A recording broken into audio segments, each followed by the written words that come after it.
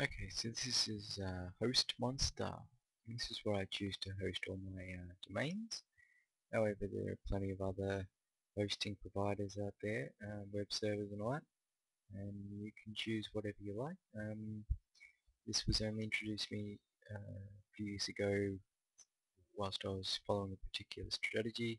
Same with uh, when I was when I was saying about domain cheapsters and the host uh, the registrar.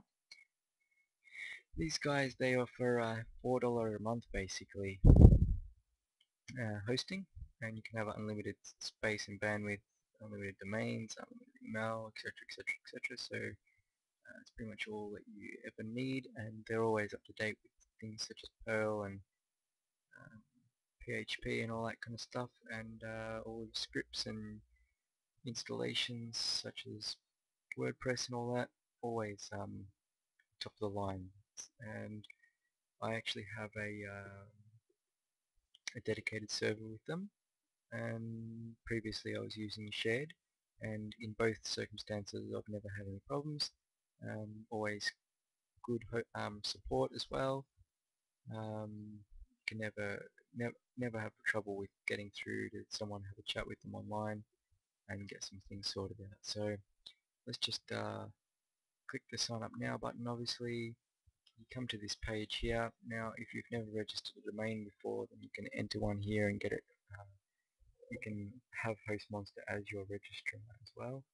Um, however, as you followed the uh, video before, then you already have one, at least one domain and that can be uh, entered into here. So I'll just go ahead and pretend that we're putting collective.net and then you click next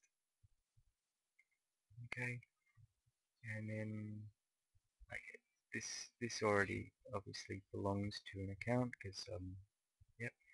Um, however you on the next page you'll actually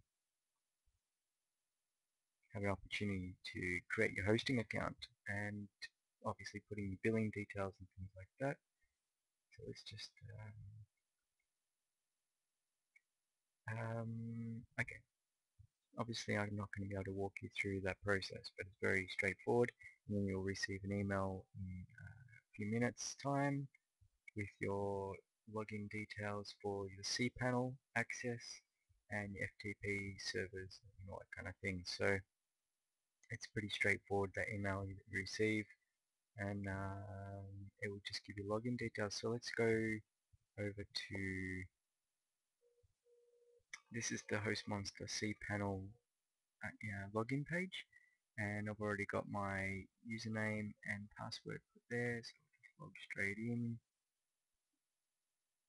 Okay so this is logged in now and I'm in my uh, yeah cPanel backend.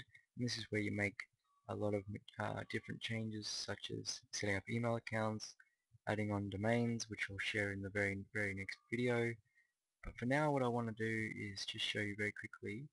Um, you've got your username here, okay, and if you scroll down further, you'll find that you have your dedicated IP address here, or shared IP address, okay. Um, so that number there is very important. So make sure you copy that and put it into a notepad somewhere on your computer and I'll be showing you how to use that to uh, run your FTP client and upload files to your server, hosting account and everything like that. So for, for starts, that's that.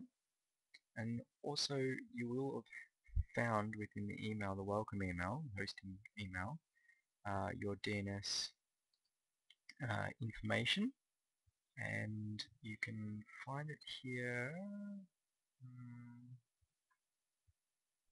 so that that email that you'll get uh, has your the name servers so that you can point your uh, domain name to be linked up with your hosting so that people can actually find and uh, your website online and so you can actually uh, use it. So you just click here on I have specific name servers for my domain, click that one, pop in your NS1 and your NS2 which is in this case hostmonster.com and